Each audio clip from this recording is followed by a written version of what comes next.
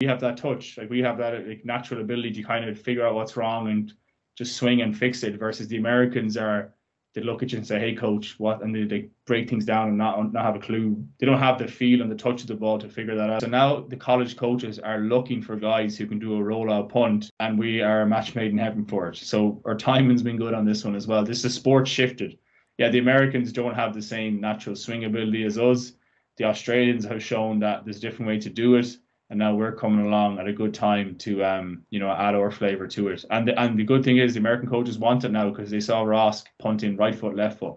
They they couldn't believe that um with such accuracy. And then uh, ideally you can spiral the ball as well. But like if you can do that rollout punt, which any good Gaelic footballer can, like the opportunities of this are like they're big. They're big they call it a rollout punt basically where you you kind of would run to the right and kick around your body like you would in Gaelic football where you're just throwing it over the bar